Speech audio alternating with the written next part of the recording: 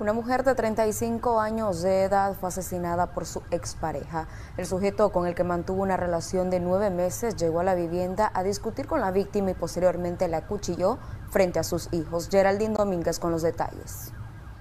Una mujer identificada como Reina Torres Altamirano de 35 años fue asesinada de varias puñaladas por su expareja Santos Valentín Díaz. El hecho ocurrió en la vivienda de la víctima ubicada en el reparto Daniel Ortega en el departamento de Chinandega la noche de este domingo, donde el femicida llegó según familiares y en un ataque de celos reclamó a la mujer hiriéndola en el cuello por lo que murió desangrada. Una de las tías de Reina indicó que tenía nueve meses de relación con el asesino que anteriormente fue su padrastro.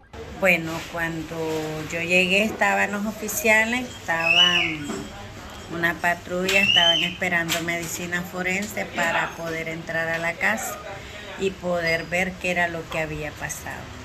¿Quién es este sujeto que le quita la vida a su sobrino? Eh, padrastro de ella, que a la vez era pareja con ella de hace unos meses. Eh, ¿Qué conocían ustedes de esta persona? Por pláticas con la mamá de ella. Él era un hombre violento. Los funerales de Reina se realizaron la tarde de este lunes en el lugar de donde era originaria. En Acción 10, Geraldine Domínguez.